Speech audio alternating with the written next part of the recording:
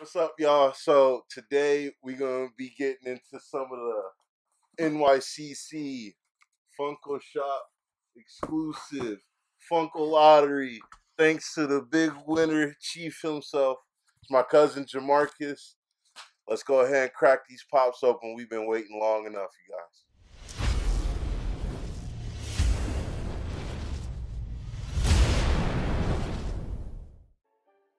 All right, you guys. Like I said, we're gonna be getting into some NYCC stuff.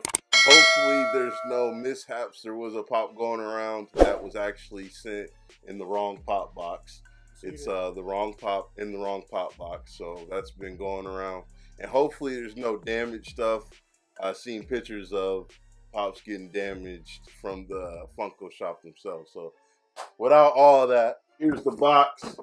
We're about to get into it. Jamarcus won the Funko lottery and actually doesn't have a YouTube or an Instagram or none of that stuff. So it is possible, you guys, for just common old folk to win the lottery.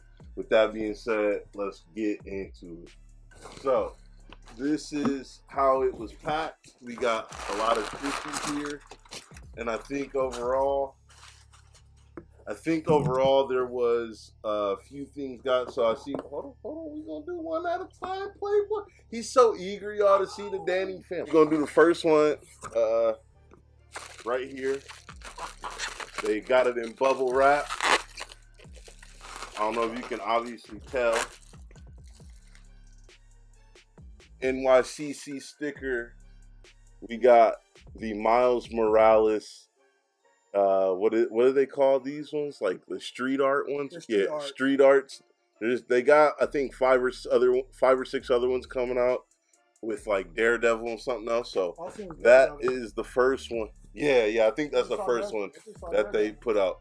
The box looks good. It does have the official con sticker.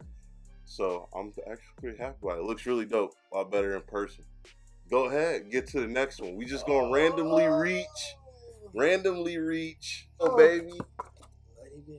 the young Ben, young bloody Ben to be exact. That is pretty dope. This is limited to 2,000 pieces, as you can tell right there. This is pretty dope. I like that. Right now it's selling for about 250 bucks. Yeah, so he's hoping to trade that for uh, Black Lightning. So anybody watching this got a Black Lightning pop, get in touch with me and I can get in touch with him. Y'all get a good little trade on some limited pieces. How you feel about what's going on so far? They they shipping them pretty good. I don't see any problems. This this was actually the pop that was in the wrong box. It was in the Dwight Schrute box Dwight Schrute box. from the office. They had the the plastic, and- and somebody said it could be real, it could be fake. We never know, but I wouldn't. I've seen it. I've seen it plenty of times that Funko does do silly things like that. So let's go to the next one. Okay, so okay, this is a new looking protector or Oh, protector uh, box order. This has two pops in it. So let's uh crack that open. Oh, oh, I think we got some anime ones right here. Hold up. Yep. We have the Compress and Kaguya Pop, Naruto, and My Hero. Those is yours. You can go ahead and show them off. Let the people know how you feel about them. I think oh, that- look at these bad babies. Yeah. Oh yeah. Yeah, I think we're gonna be hitting uh, the uh, Danny Phantom Oh, we gonna hit last. I these- think that's these- gonna be the last one. Yeah, these are both of them have con stickers on them. Yeah. Both have con stickers. Oh yeah. Uh, anything from the lottery, you will have The con sticker. you have a con sticker. So there's that one. And then here is the Mr. Compress. Them con stickers is beautiful. I heard they're not anti-tamper with. You can't tamper Yep. with them anymore. Uh, if you, well, dang, I don't know. It doesn't look like it. These look pretty normal to me. they say like so, it's supposed to be glued on there now, you so can like you see- can't, you can't take them off. It, like you can still see through the sticker, kinda. So it doesn't. I did see one that looked like there was like a bubbled seal. I don't really see that too much on these pops, so uh, it may may not be. You can go ahead and get that last one. Good old Danny Phantom right there. Look at that bad boy. Woo! We got the red goblin. Ooh, yes. There you go, man. See, no one knows about this. This, this. Oh is, yeah. This is, Oh yeah. this is a childhood right here. Those over Th- here. That's a childhood Put right that there. right there. They created any more of those? So we got the Danny Phantom and. Red Goblin. Here's the back of the box. And I like that most of these uh, ones from Con have a, a cool little art box, and uh, nothing is, else is going to be in the wave as of yet for Danny Phantom. Uh, So good chance that'll probably the only pop of Danny Phantom. That, and they might do a regular with him in like not as uh, in his ghost form, you know, with the black hair. So we have the Danny Phantom, Red Goblin, Kaguya, Mr. Compress, the Young Ben, Bloody, and then we got the Street Art Deluxe Pop Miles Morales. And a lot of people gave this one crap, but I think it looks a that lot. actually looks nice. It looks really dope in really person. nice. It's very something that's Yeah. very unique and different. Yeah.